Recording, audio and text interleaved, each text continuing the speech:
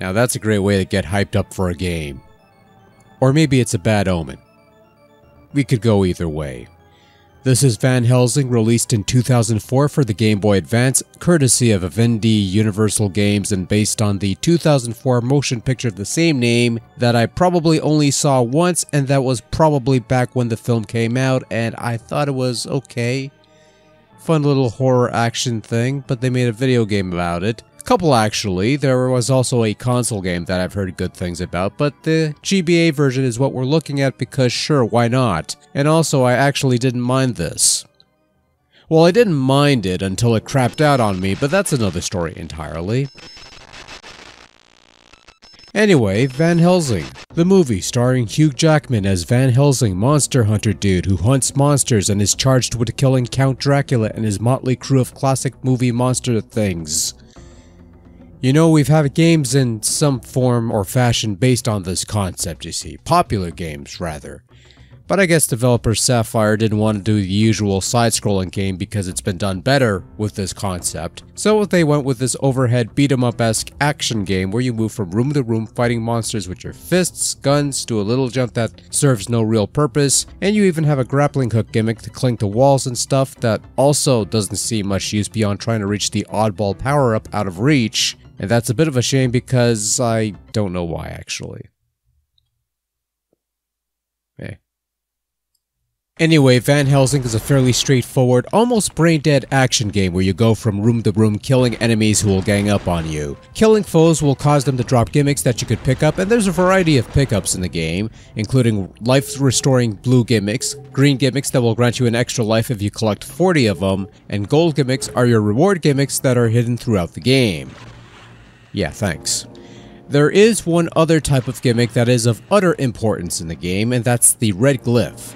Each of the game's levels has four of these to seek out, and recovering all of these will result in your rather paltry life meter being extended.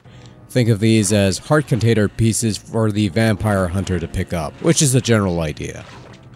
Van Helsing has a couple means of disposing of enemies. One is this flailing melee attack in which he supposedly uses his razors or his knives or whatever they're called.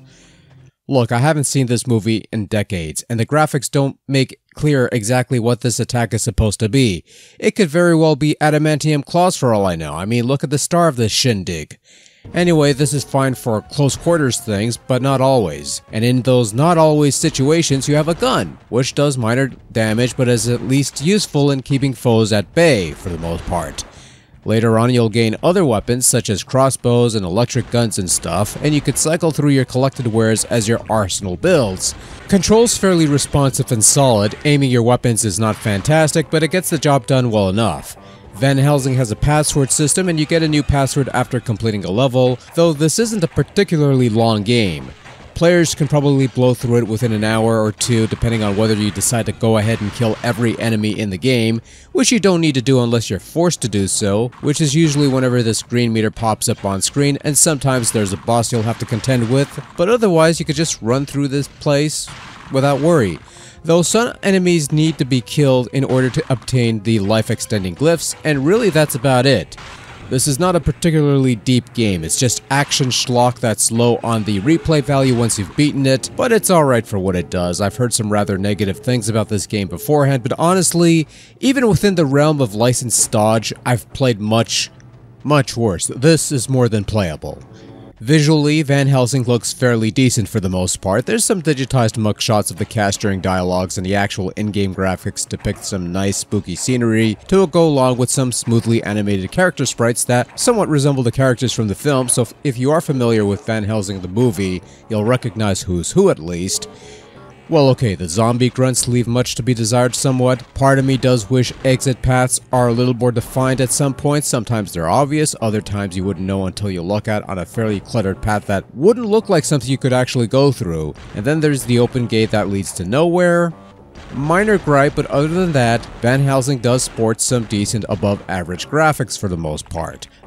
The same cannot be said for the sound, however, which is nothing but constant droning background noise that attempts to be some semblance of music, but it's really hard to tell. The light drop of sound effects and that one screaming voice clip, and oh yes, the uh, droning noise that plays constantly when you're low on health. Yeah, no. Best keep the volume down on this one, kids, and pop in your music of choice on your music player of choice while the action plays out on screen. Overall, Van Helsing on the Game Boy Advance is okay-ish, I guess. It's not as bad of a game as I was expecting, though that's not exactly high praise since there's not really a whole lot to this one. The best thing I could say is that it functions, it's playable, and other than one or two freak occasions it does technically work, but like most licensed games of this era, this is something you pick up because you saw the property it's based on, you play it for a bit, you eventually beat it, toss it aside, and then move on to something else. That said, I still had a bit of fun with this during my brief playthrough, so Van Helsing does have its moments. All in all, I'd say it's perfectly acceptable licensed game fodder that's fun while it lasts, but that's about it really.